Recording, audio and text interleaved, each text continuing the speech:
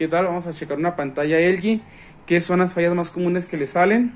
Una es el Wi-Fi, que siempre se les apaga.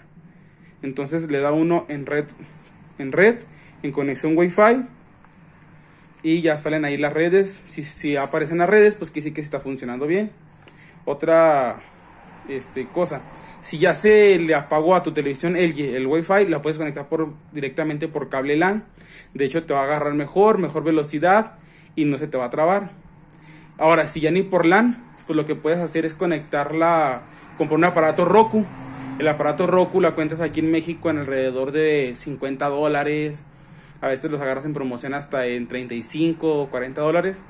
800 pesos, 1000 pesos y te sale mucho mejor que llevarla a reparar, porque si la llevas a reparar, te saldría en alrededor de 1500, 1800 pesos arreglar esa piececita y la verdad se te va a a desbaratar. A lo mucho te va a durar 6, 8 meses y con el aparato Xiaomi o con un Roku, pues te va a durar indefinitivamente, se puede actualizar, va a agarrarte aplicaciones como el Disney, el HBO, te va a agarrar este, aplicaciones como el Amazon, el Blim, que son aplicaciones que aquí en México se utilizan mucho. Otra cosa que siempre les pasa es la pantalla, que la pantalla siempre se pone de diferentes colores, empiezan a ver manchas oscuras o se empieza a ver la pantalla morada.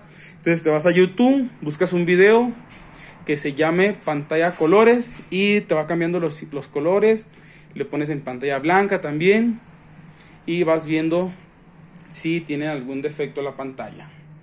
Esta pantalla no tiene ningún defecto, pues está en, perfectas condiciones.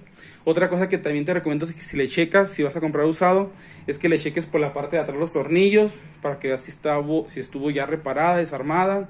Modelos que no te recomiendo comprar, modelo 2017, 2016, que sean 4K. Esas siempre las pantallas se ponen en color morado y te empiezan a fallar mucho de eso. Entonces también los LEDs, los LEDs se les apagan normalmente. Entonces, si tienes pantalla LG, haz esa prueba. Si ya se te desbarató de lo que es la antena Wi-Fi, te recomiendo que no la repares porque si vuelve a desbaratar, mejor consigue un Roku o un aparato Amazon Fire o un Xiaomi Stick y esos te van a funcionar mejor, te van a dar mejor, mayor velocidad de RAM, así que te conviene más.